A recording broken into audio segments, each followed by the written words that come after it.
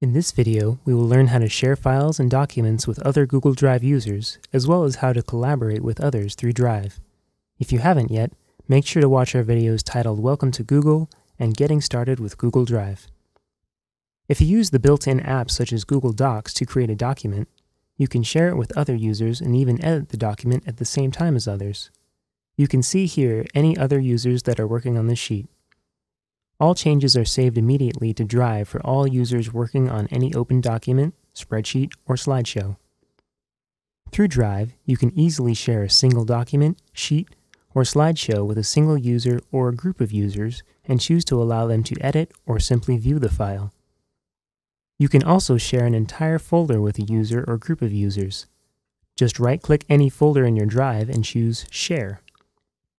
This is great for working on projects with a group of people who need to be able to view or edit multiple files.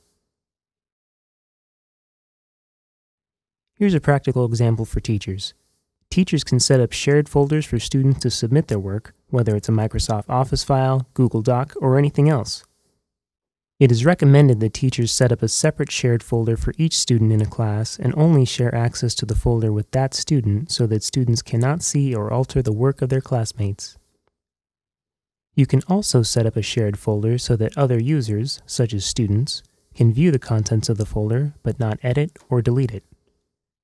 This is a great way for teachers to assign work to students or for administrators to distribute announcements or other information and data to people such as building staff or board members.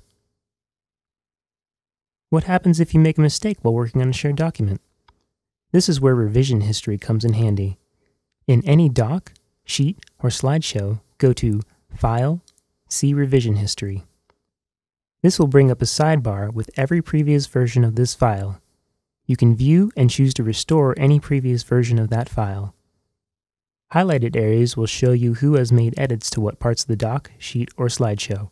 It looks like this is the version of the sheet I want to restore. I'll just click Restore this version, and the sheet will revert back to the previously saved version. What if you want to share something with a large group of people? If you have a group of contacts in your address book that you would like to share a file or folder with, the easiest way is to make that file or folder available to anyone who has the link.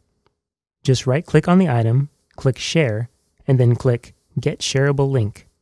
This will copy the link to your clipboard and make the file available to anyone in the district who has the link. Just like with normal sharing, you can set the file so that others are allowed to edit or simply view it.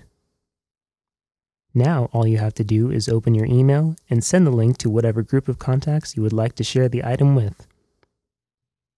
As you can see, there are a variety of options for sharing and collaborating with others. If you would like to learn more about sharing, you can always visit the Help Center in Google Drive. Just click the gear icon and select Help.